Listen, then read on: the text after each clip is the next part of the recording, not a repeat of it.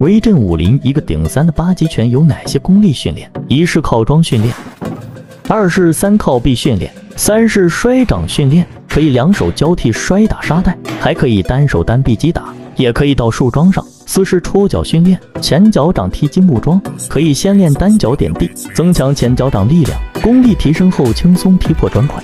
五是虎爪俯卧撑，六是拳头伏虎功，又叫铁牛耕地。七是揉腿训练。后脚马步站立，用腿去控制对方腿。八是扫把功，练手的拧力和全身抗击打能力，也可以用铁扫把增强力量。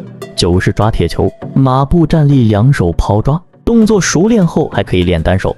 铁球也可以用来站桩，两臂伸开与肩平，然后抓球。